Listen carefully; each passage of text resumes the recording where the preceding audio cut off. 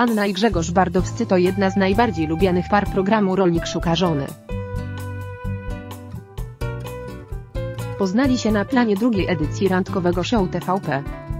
Od razu Ania wpadła w oko rolnikowi, który szybko odprawił pozostałe uczestniczki, by spędzić z nią jak najwięcej czasu.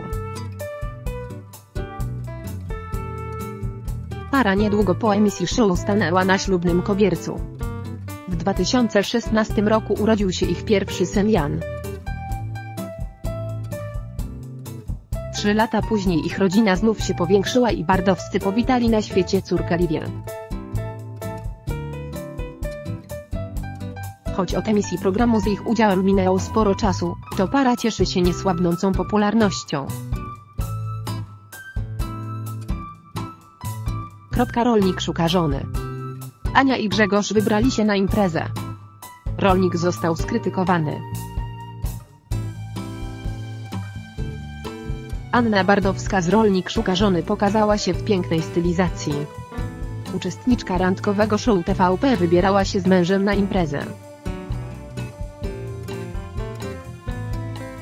Fani nie szczędzili komplementów pod jej adresem. Niestety dla jej męża nie byli tacy mili. Ania Bardowska na fotografii miała przepiękną czarną koronkową sukienkę. Za to jej mąż miał zamiar wybrać się na Andrzejki w bordowych spodniach i golfie. Kropka mąż w tym ubraniu kompletnie do swojej żony nie pasuje. Kropka twoja sukienka a ubranie męża. Dziwne połączenie. Kropka Grzesiek na tym zdjęciu wygląda, jakby miał się dopiero iść przyszykować.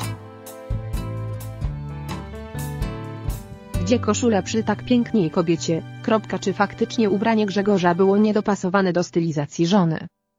Kilka osób wzięło go w obronę. Jednak w koszuli byłoby obłędnie, ale najważniejsza jest wygoda. Kropka też sądzicie, że wygoda jest ważna. Jak wasze stylizacje na Andrzejkowe imprezy?